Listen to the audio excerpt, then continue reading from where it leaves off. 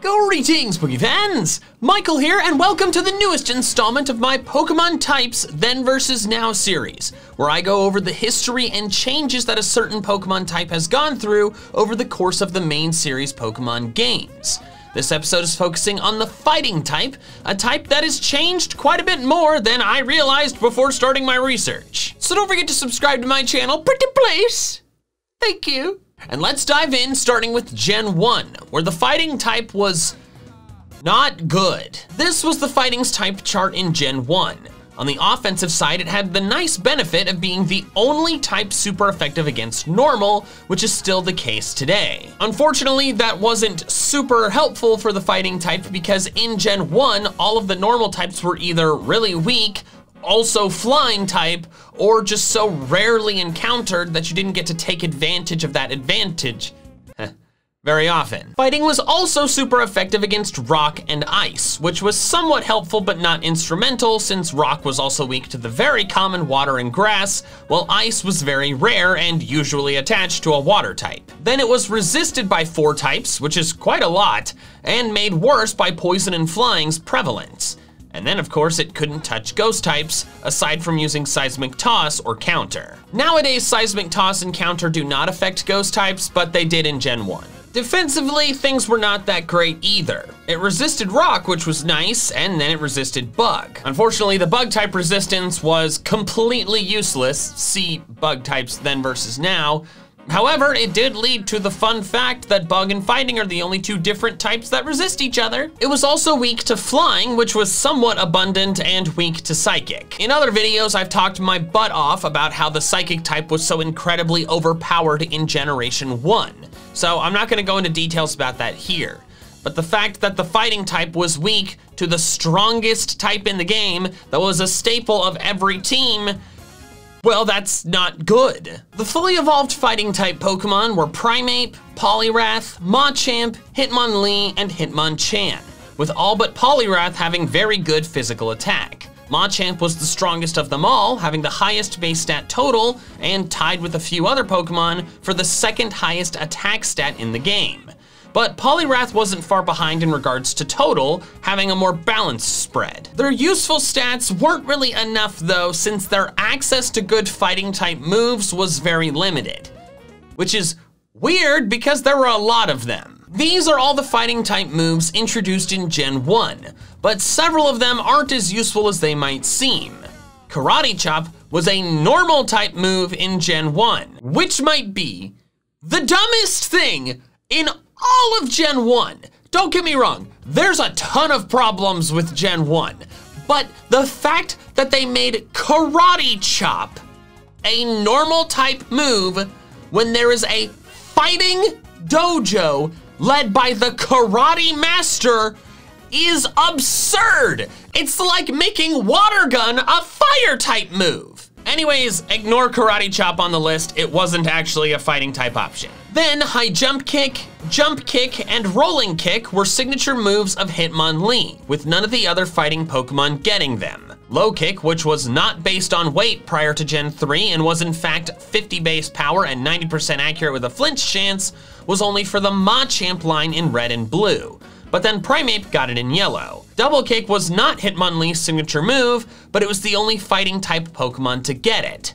The remaining moves are Counter, Seismic Toss, and Submission, two moves that do not actually deal fighting type damage, and one that's power of 80 does not justify its 80% accuracy and recoil damage. Say it with me, kids, if it's not 100% accurate, it's 50% accurate. The end result of this is that Hitmonchan and Poliwrath's only fighting type move options were counter, seismic toss, and submission, none of which I think to be good moves. And then a lot of the other fighting Pokemon didn't have very many other options. The only Pokemon that had a lot of options was friggin' Hitmonlee. All fighting type moves in Gen 1 and 2 and 3 before the physical special split in Gen 4 were physical attacks, which to me makes perfect sense fighting is basically the mascot type for physical moves. The first fighting specialist was the Karate Master, who didn't get a name until later generations, but would be called Kiyo or Koichi, depending on the game, and also would be called the Karate Master or the Karate King,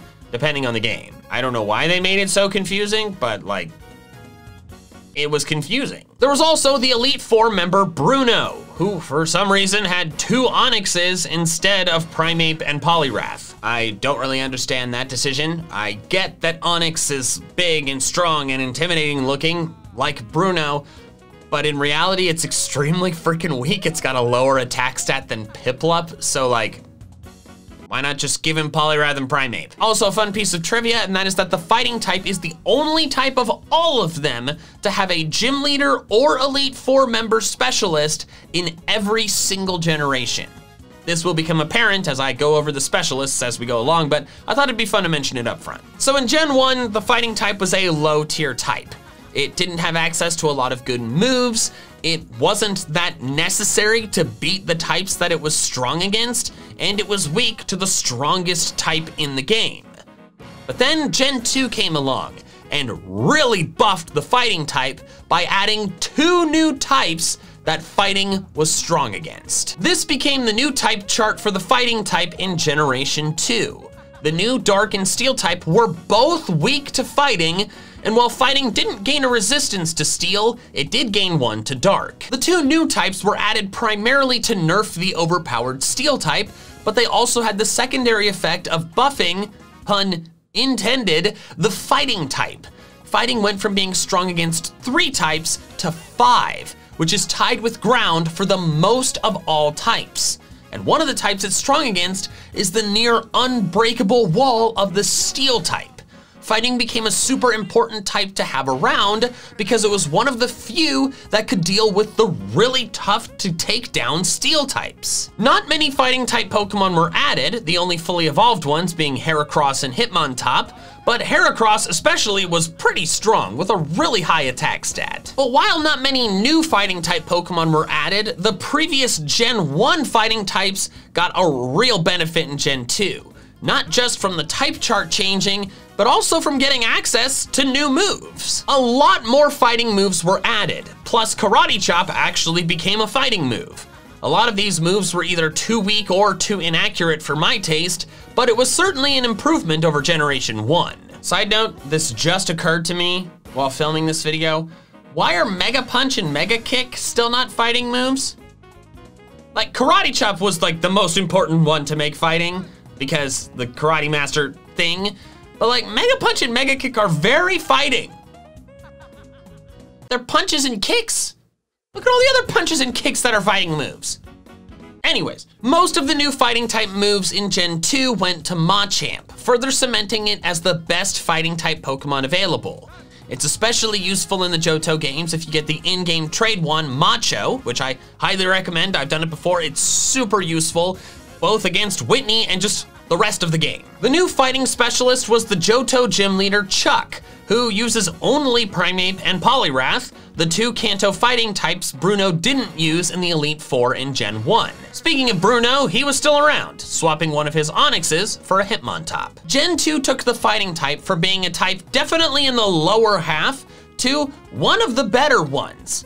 Then Gen 3 came along and improved it even further, which is a weird thing to say, I feel like Gen 3 didn't do much of anything for most types, but then fighting, it buffed it even more. The type chart didn't change, but it added a lot of good new moves and several good new Pokemon. The new fully evolved Pokemon were Blaziken, Breloom, Hariyama, and Medicham. Of these, Blaziken would go on to make the biggest impact, especially once getting its hidden ability Speed Boost.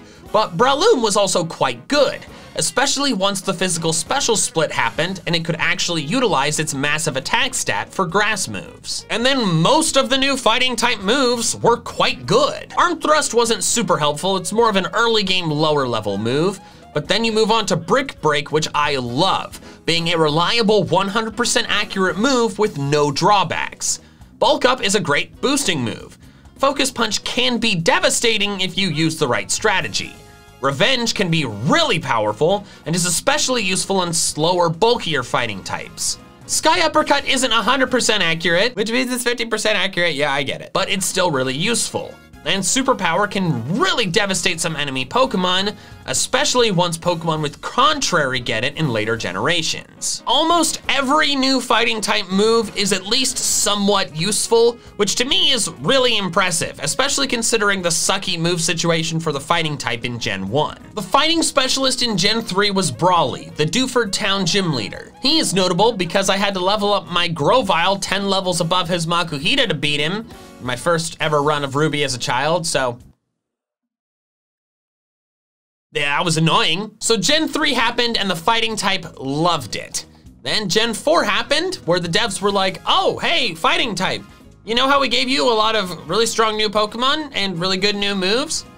Here's even more. Infernape, Lucario, Toxicroak, and Gallade were added all being at least decently strong, but Infernape and Lucario would go on to make the biggest impact. Fun fact I can mention now that I've introduced Lucario, and that is that every single fighting type gym leader or Elite Four member, of which there is one for every generation, uses a Machamp or Lucario on at least one of their teams, which is crazy. Gen 4 also brought the physical special split, so now special physical attacks could exist.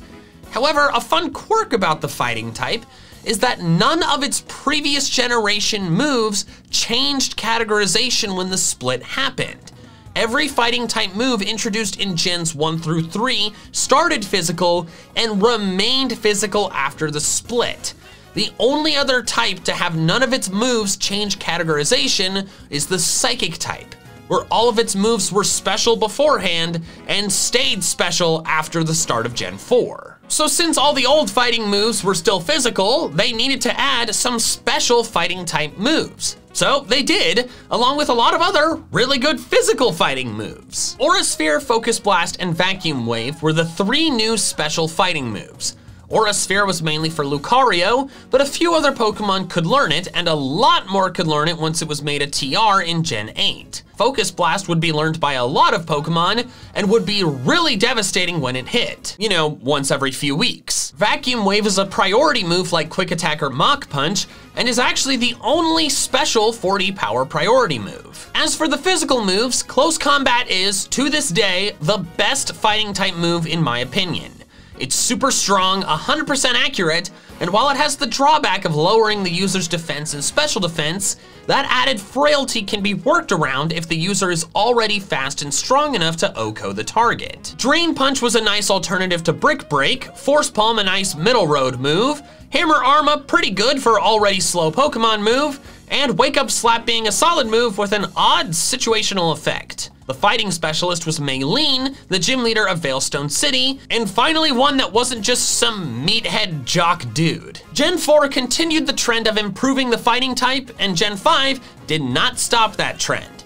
While it didn't add really any super useful fighting type moves, it added a lot of really buff, pun intended, fighting type Pokemon. The new fully evolved ones were Emboar, the third and thankfully final firefighting starter, Conkeldurr, Throh, Sawk, Scrafty, Mienshao, Cobalion, Terrakion, Virizion, Keldeo, and Meloetta's pirouette form.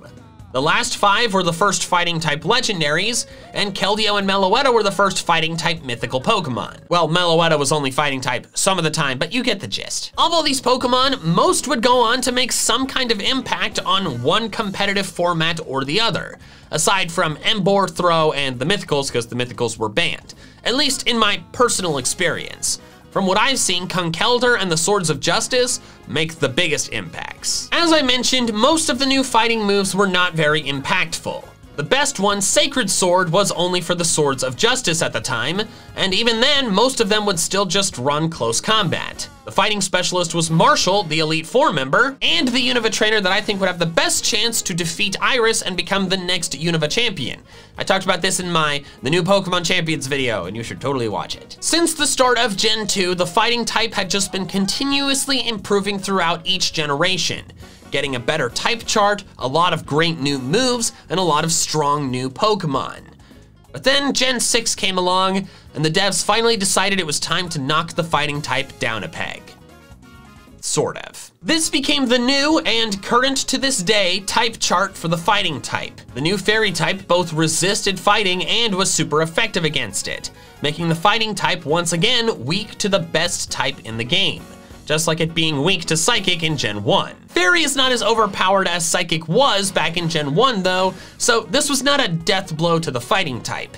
It's still really useful against the five whole types it's strong against, and it's still the only type that's strong against normal, which back in Gen 1 wasn't that helpful, but nowadays, with all the generations that have gone by, there's a lot of really strong normal type Pokemon for which fighting types are the only ones that can handle. Plus, it's still one of the few types good against Steel, which is another one of the best types in the game. The new fighting moves were few. Only Flying Press, Hawlucha's move, which is actually both fighting and flying, Mat Block, which is only useful in doubles or triples, and Power Up Punch, a boosting move that can really snowball a Pokemon's power. It got a lot of use on Mega Kangaskhan, the Pokemon that always hit twice, so it could double its attack stat in one turn, while attacking in the process. The new fighting Pokemon were Chesnaught, Pangoro, and Hawlucha. None of them were super game changing, but I really like Hawlucha. Fighting was actually the last type to be combined with flying, with Hawlucha being the result. Well, I guess also, Fairy was combined with Flying at the same time when they made Togetic and Togekiss Fairy Flying. But like, Fighting was the last one of the ones that existed before Gen 6 to be combined with Flying. So for the Fighting type in Gen 6, its matchup chart got worse. It only got one useful new move, and the new Pokemon were not that impressive. So why did I say that it was knocked down a peg, sort of? Well, that's because of the Megas. Mega Heracross has an absurd attack stat. Mega Blaziken took the OP Speed Boost Blaziken and made it even stronger. Mega Medicham's ability Pure Power gives it the second highest attack stat of all Pokemon behind only Mega Mawile. Mega Lopunny is super fast and strong and can sweep through even ghosts thanks to Scrappy. Mega Gallade also hits insanely hard. Mega Lucario has massive physical and special attack, made even stronger thanks to adaptability, which increases its stab multiplier from 1.5 to 2 times. It was banned to Ubers, as was, of course, the final fighting Mega, Mega Mewtwo X. It is tied with the other Mega Mewtwo and Mega Rayquaza for the highest base stat total of all usable Pokemon with an absurd 780. The fighting types Megas were stacked. So while the addition of the fairy type was not great for the fighting type, the new Megas still made it a very strong type. The fighting type specialist was the Shalour City gym leader Korrina who is also the Mega Evolution successor, who also, annoyingly, never uses her Mega Lucario outside of that Mega Lucario versus Mega Lucario battle, which is super dumb. Why did they not implement gym leader rematches?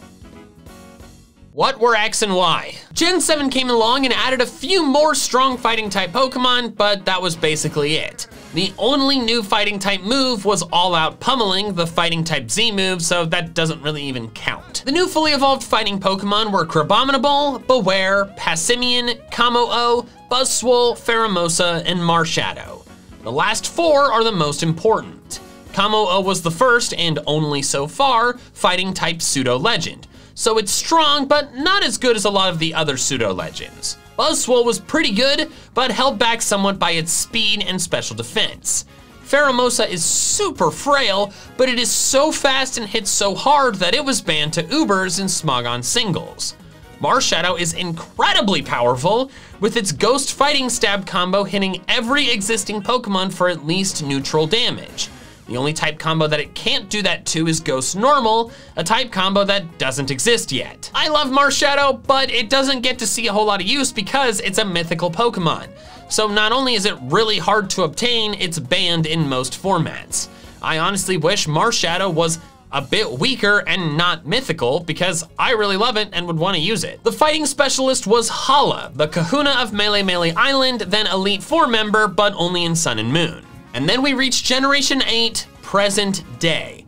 This gen did remove Mega Evolutions, which the fighting type certainly did not appreciate, but the new max move for the fighting type is arguably the best one of all of them. It also got some other nice new moves, but most importantly, in my opinion, several sweet new Pokemon. Grapploct, Sirfetch'd, Falinks, Zamazenta, the Urshifus, and Galarian Zapdos are the new fully evolved fighting type Pokemon.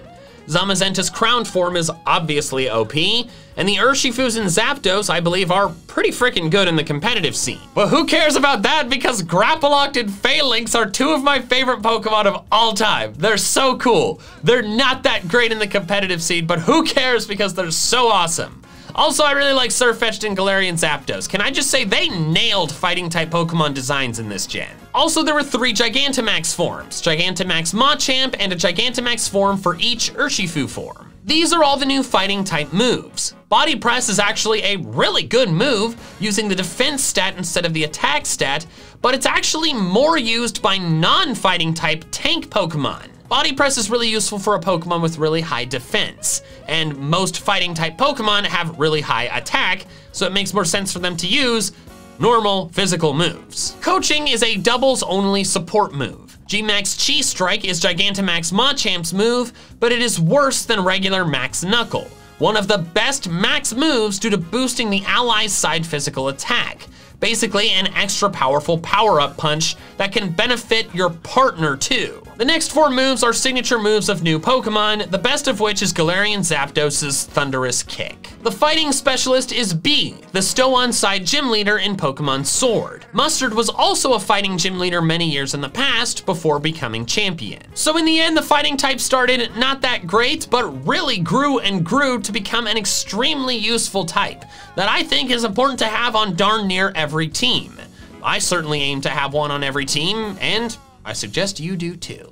Thanks so much for watching and an extra special thanks to my patrons over on Patreon who are helping support my channel independent of fluctuating YouTube ad rates. If you wanna help support me in the same way, the link is in the description below. Also, if you wanna check out some more of my fun Pokemon content, I recommend these videos here. All right, that's all I have for now, so until next time, give ends. Gotta catch them all.